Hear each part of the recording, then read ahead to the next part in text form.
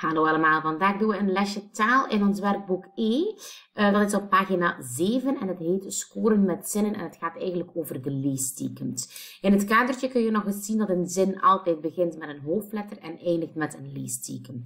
Als dat een gewone mededelende zin is, iets dat je gewoon vertelt, dan ga je daar een punt plaatsen. Is het iets wat je uitroept, je denkt aan auw of wauw, leuk, dan ga je een uitroepteken plaatsen. Is het een vraag, dan ga je een vraagteken plaatsen. En bij een bevel, hier staat er een uitroepteken of een punt, maar ik vind dat een uitroepteken veel duidelijker is. Bij oefening 1 kun je die nog eens gaan kleuren, maar ik vind dat nu eigenlijk een beetje onnozel om te doen. Dat is een beetje tijdverspilling en je weet, uh, al, daar ben ik niet voor. Op bladzijde 8 wil ik je wel eventjes uh, iets tonen.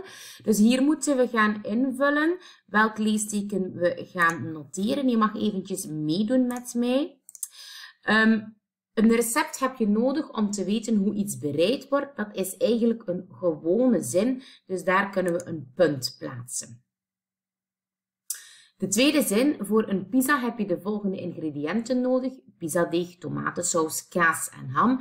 Hier is het heel duidelijk dat je een opsomming hebt. En wij hebben geleerd dat bij een opsomming dat je daar altijd eerst een dubbel punt zet en dat je daartussen dan kommas plaatst. Op het einde van de zin dan natuurlijk je punt.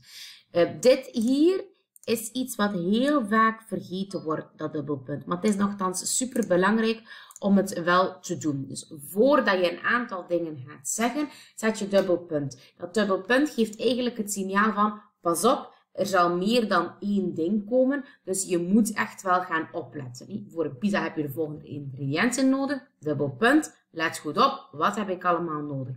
En dan begin je aan wat je nodig hebt. Ja? Je voegt suiker, bloem en eieren toe.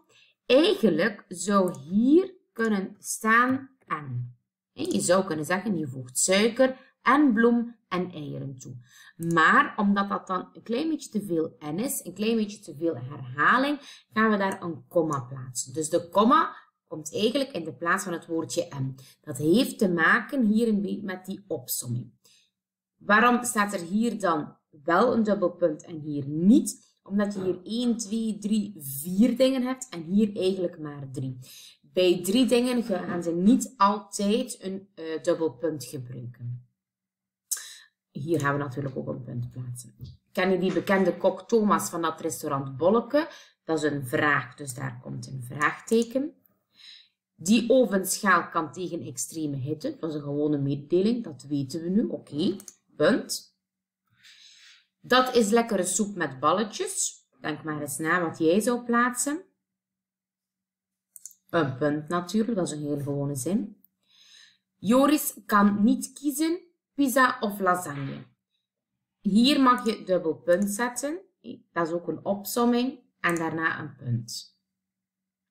Kunnen de leerlingen morgen iets gezonds meebrengen? Dat is natuurlijk een vraag.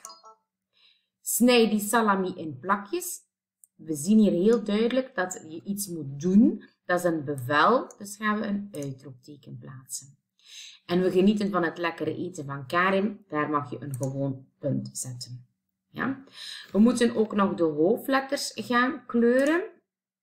mogen we niet vergeten. We hebben natuurlijk telkens aan het begin van onze zin een hoofdletter. Dat is bij de tien zinnen zo. En dan gaan we eens kijken of we ergens anders nog een hoofdletter hebben. Ik merk dat bij zin 4. Dit is een eigen naam, de naam van een persoon en de naam van een restaurant. En die moeten natuurlijk ook met een hoofdletter. En ook hier hebben we eentje. Karim is een naam, een eigen naam, dus gaan we ook daar een hoofdletter plaatsen. Goed. Jullie moeten straks oefening 3 gaan maken. Je gaat dat gaan lezen en je vult het juiste leesteken in. Dus je vult in met woorden welk leesteken er moet. Ja? En dan bij oefening 4 moet je de zinnen hier staan ze telkens in een... Dus hier heb je een mededelende zin. Jij moet er een vraagzin van maken. Met natuurlijk het juiste leesteken. Hier heb je een vraag en je moet er een gewone zin van maken. Hier staat er een gewone zin en daar moet je een uitroep van maken. let erop dat je de juiste leestekens gaat gebruiken. Wie wil, kan dit hier ook nog eens oefenen. Ja? Normaal gezien zou je heel snel moeten klaar zijn met deze les, maar dat is ook de bedoeling, want het is woensdag en verlengd weekend en dat is super belangrijk, omdat je daar niet veel moet doen. Goed?